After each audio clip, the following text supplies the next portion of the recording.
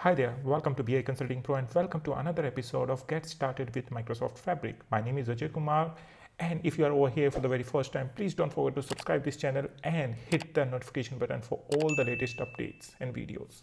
In this episode, we are gonna talk about how to ingest data with data flows Gen 2 in Microsoft Fabric. I'm sure you have so many questions about what is data flows Gen 2 and how it is different from the data flows Gen 1 or data flows legacy. Well, data flows Gen 2 is present in Microsoft Fabric and in this video I'm going to show you how you can utilize it to perform your ETL or ELT operations and also how to load the data into your Fabric Lakehouse we are going to start getting data from a CSV file. Then we are going to use data flow gen 2 and data pipelines. Then we are going to load the data into our lakehouse. Now let's talk about what is Microsoft Fabric's Data Flows Gen 2. Microsoft Fabric is a tool for data work, including gathering, changing, and analyzing of the data. You can perform your all the data analytics related needs using Microsoft Fabric, where you get the different experiences. If you are watching this video for the very first time, please don't forget to watch the other videos in this series so that you would get to know how to actually start working with Microsoft Fabric, how you can initiate or enable your trial version of Microsoft Fabric, what are the prerequisites, and from where you can start accessing this one. Please do remember that a key part of this process is bringing in data. That means how you are gathering your data from your different data sources. Data Flows Gen 2 is going to help you with this by taking data from various places or various sources, then making it consistent and clean, and then at last we are going to put it somewhere which is going to be our data lake house. You can think of it as a funnel as in the funnel you can pour your water or any kinds of liquid and then it's gonna get down at some bottle. Then we are going to collect it inside some bottle. You pour different kinds of liquids. Over here liquid is referring to the data into the top. The funnel clean and mixes them. Then you are going to get a useful drink at the bottom. So that is what is microsoft fabric. Now let's talk about a real life example. For example you are working in a retail store which has the branches all over the world. Now you have the different data silos or different data sources from the different stores from all over the world. Now your job is to collect those data from the different data sources, process them, that can be including your cleaning of the data, removing some unnecessary data, or maybe performing some of the other transformations on that data, and finally load it into your own data warehouse or database from where you are going to start utilizing it for different analytical needs. That can be for data science, that can be for your reporting purpose, or it may be just for the data analysis purpose. So that is one real life example. Now let's talk about how does data flows work. Please do remember that data flows is a tool in Microsoft Fabric, which is also a part of the Power BI Premium. So data flows are basically going to help you to collect the data and to process it, like to perform the ETL operation on the data. Data flows is like a cloud-based tool for data transformation. If you are simply working with Microsoft Power BI, then this can be a very useful tool to replace the views that you create in the databases. However, it is much more than that over here. You can pull data, change it in various ways, and then put it in somewhere else. There is a visual interface as well, which is also known as Power Query Online, where without doing any of the coding, you can simply drag and drop and can perform the various data transformations over there. I'm going to show you in a bit over there during our demo exercise. Now, once your data is ready, you can put it in a new table, use it in another data processes or data analyst use it directly. That means now your data is ready. You can perform your various data analytics needs on that data. Now, what you can do using data flows? Well, guys, if you are new in this field in data analysis or maybe in Microsoft Fabric or maybe in Power BI, then you should know that traditionally data work involves a lot of manual tasks. Over here, data flows aims to simplify this work for you. You can use a data process called a data pipeline, which I have already explained in our last video, that you can use to copy and use your data. But with data flows, you can even prepare the data first, making the whole process even smoother. And then you can use your data pipeline just to load the data at some place. Data flows stores all the steps it takes to change the data. That means the transformation of the data. So if you want to use the data elsewhere, you just plug in data flows and it does the rest. Now, after discussing what you can do using data flows, it's time to get to know about the benefits of the data flows. First of all, it's going to make your data consistent. Secondly, it helps non-experts access specific data easily. It's also going to speed up the process by reusing the data When it comes to the simplicity, it's going to simplify the complex data sources for analysts. If you want to make sure that your data is high in quality and it's clean, then also you can use the data flows. Lastly, it's going to make data integration easy with a simple interface where you don't need to use any kind of coding languages and still you can perform your complete ETL operation over there. However, apart from having these benefits, we have some limitations as well. First of all, please do note that it's not a replacement of a full data storage system or a full data warehouse that you can have in any enterprise organization. Secondly, it doesn't support row level security yet. And last but not least, it's going to require a Power BI premium capacities or fabric capacities. So these are the three main limitations for the data flows. Now we are going to have a demo where I'm going to show you how you can load the data using data flows gen 2 and what kind of transformations you can do over there. So let's head over to my Microsoft Power BI portal or you can also directly switch to Fabric portal. As you can see that I'm on my Microsoft Service portal over here. From here, I can go to the data engineering experiences.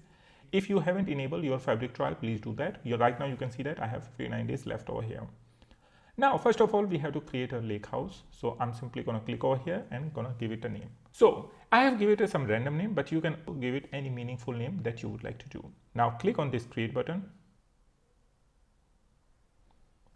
Here on your screen, you can simply see that you have various options. Last time we discussed the new data pipeline and previously we have also discussed this open notebook.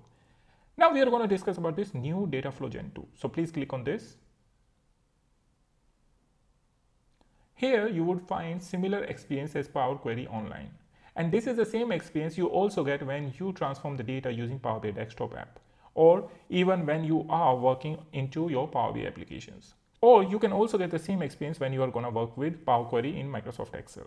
Now we have to get the data first of all. So we are going to get over here, get data, text file. Now over here, either you can upload your file, you can browse from OneDrive or you can directly use a link. So I'm going to use a link which is provided by Microsoft. I'm also going to provide you this link in the description section if you would like to use it and then you can start working on it. Now I'm going to simply create next if you're working on Power BI, this is nothing new. It's very simple way to get the data from any text or CSV file. Over here, this is my CSV file. You can see your data over here. If you would like to adjust something or if you would like to create the table using example, you can do it. However, we don't need to do it over here. So I'm going to click on this create button.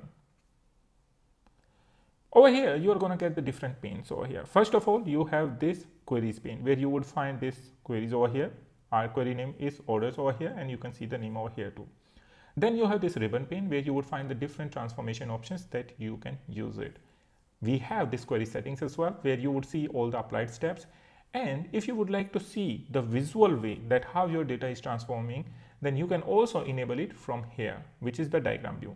So you can simply click over here and you would see everything. Please do remember that if you are new to Power Query, then we have already created one complete tutorial for Power Query. I'm going to provide you link in the description section. So please don't forget to check it out. Now, what I'm going to do, I'm going to transform some of the data. That means I'm going to add one column over here, which is going to be my month number.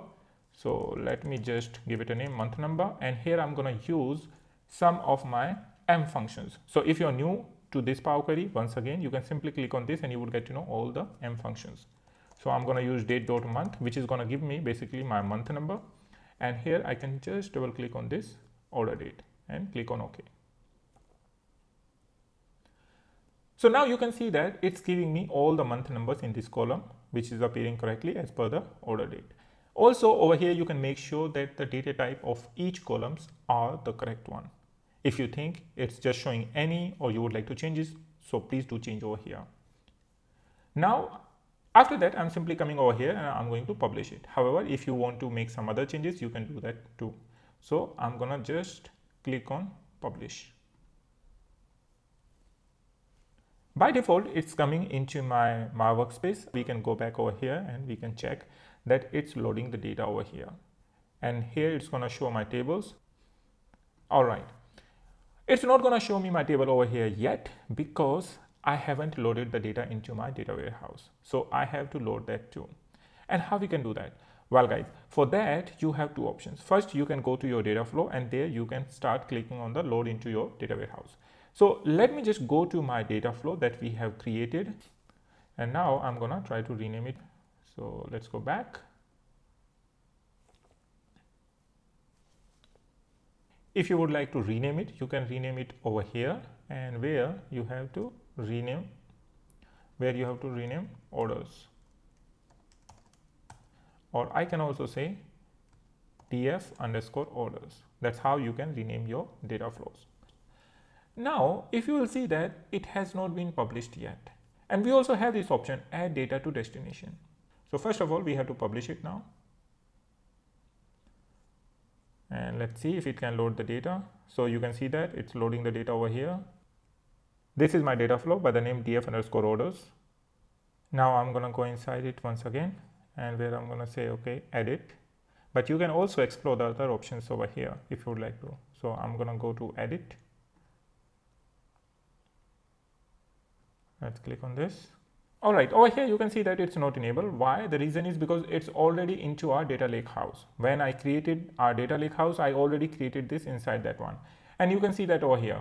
So here you would find this option at the bottom right hand side of the screen that the data lake house resemble for this one is data flows gen 2 underscore destin underscore something something. So this is where it's gonna go. But if you would like to change it, you can change it over here. So you can simply click on this button over here. You can either create a new connection or the lakehouse one, which we already have, then go to the next one. It will take some time. And here you can select where you would like to add it. So I have the different data lakehouses, basically the workspaces that I have, it's showing me. But inside them, you can add it over here. So I'm gonna simply select my fabric one and I can give it a name which is already here orders and let's say orders underscore name. Over here I just need to select my Fabric Lake House where I would like to load my data. So I'm going to select over here this adventure works and click on next. Now over here you will see that month number is not selecting by default because it's not able to get the right data type. So over here you can go and you can select this whole number also note that how you would like to update, whether you would like to just append it or you want to use the replace functionality, please make sure I'm just saying, okay, append it. Then we can use the append method over here. If you don't know what is append, what is replace, please do let me know in the comment section and then save these settings and then save settings. All right, our work is done over here. Now we can simply publish it and it's going to get published soon. Over here, you can see that df underscore orders, it's processing so just wait for a couple of minutes over here. Now it's done. You can see the timing as well. It's refreshing here. Let me try to refresh the page. Here you can see that it has been refreshed at 9.26 p.m. Now what I'm going to do, I'm going to create a pipeline. So let me again go into my data engineering workspace. Here I can create a new pipeline and inside the pipeline also you can use your data flows. So I'm going to give it a name data flows gen 2 underscore pipeline. And why I'm doing that? Well guys, as I have showed you in my last video that how you can use the pipeline to transform your data to add into the different tables or append or delete. But sometimes when you create your data flows and then you can directly use that data flow into your pipeline. That's going to make your process much smoother, which we are going to do over here. Now, simply you have to click on this data flow button here you would get your data flow. You can rename it if you would like to. Otherwise, simply come over here under the settings pane, refresh this button.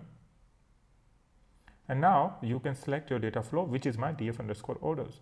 That's all you need to do over here. Once it's done, it's ready to run and you can simply click on this run button. Save and run and it's gonna run for you. Now you can see that it's running and you can see your output over here, which is in queue now. Let me refresh it